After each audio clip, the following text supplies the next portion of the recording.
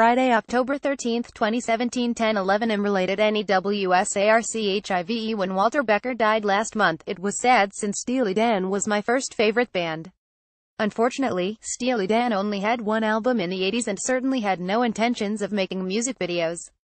However, Becker's partner in Steely Dan, Donald Fagen, did make music videos so today's Nostalgia was a song about 50s nostalgia called IGY while Steely Dan is played plenty on classic rock radio and are the unofficial kings of yacht rock, solo Donald Fagen material doesn't get much play except an occasional spin of IGY, which was the first single off of Fagen's glorious LP The Nightfly from 1982.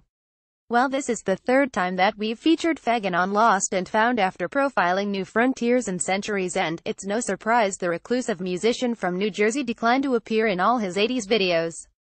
Instead the video for IGY creates the look of a 50s educational film.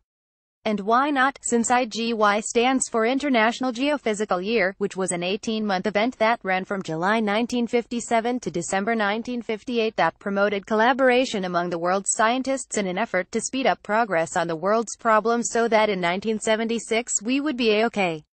While certain progress has been made in technology, such as texting your child in the next room when you could just as easily speak to each other face-to-face, the video for IGY laid out some aggressive Jetson-style goals as by October 5, 2000, space travel was expected to be normal and Mars to be colonized. IGY was Fagen's only top 40 solo hit peaking at number 26 on the pop charts and was nominated for three Grammy Awards, but failed to win any.